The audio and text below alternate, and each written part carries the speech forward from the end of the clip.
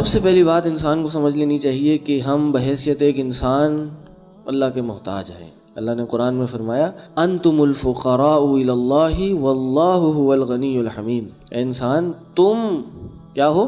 तुम फकीर हो अल्लाह की तरफ़।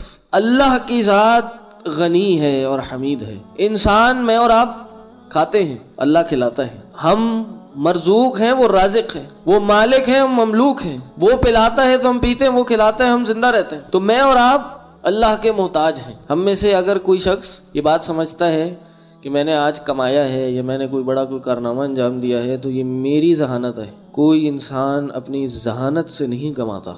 अगर कमाता है तो ये मेरा ये सवाल है कि भाई, जहानत किसने दी उसको? ये सोचने, समझने की सलाहियत किसने दी उसको? वो दिमाग में आइडिया आ जाता है, वो दिमाग में राइट टाइम पे राइट डिसीज़न हो जाता है। यही तो इंसान को आगे ले जाता ना, दुनिया में।